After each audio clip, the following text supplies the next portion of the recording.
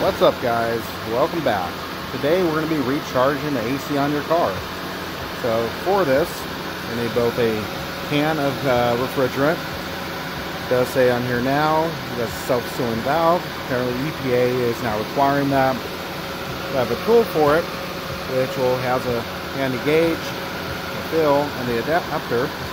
And then in my hand, I actually have a adapter that goes on the cans. Because this is made for a standard can these fit standard R134A cans. Well, they're not standard anymore.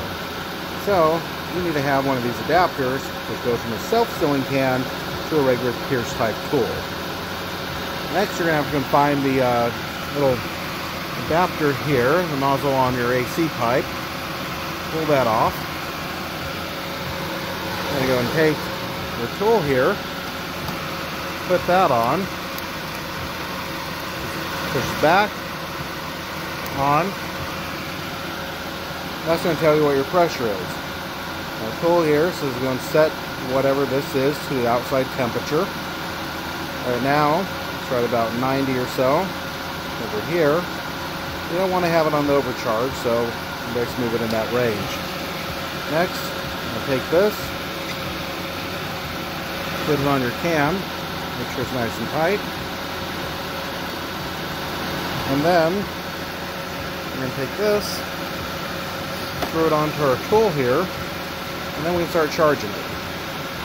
Now that we have this on with our adapter, I'm going to turn the can upside down and pull the trigger. And this is going to start putting the refrigerant into the system. I'm going to keep it held down so the can get a little colder as it's going in. And the reasoning we're doing this uh, my wife's saying that the car AC was not running as cold as it was and needed to be uh, kind of topped off. So I'm going to go make sure it gets nice and frosty for us. Right here is kind of in that range you want. A little bit more. It's important not to overfill it. But there's a little bit more room we can do with more refrigerant in there. We'll keep it like that. Keep in mind why you're doing this. Probably should have said this earlier. Car on, AC on, on maximum. And then that right in here, get nice and cold again.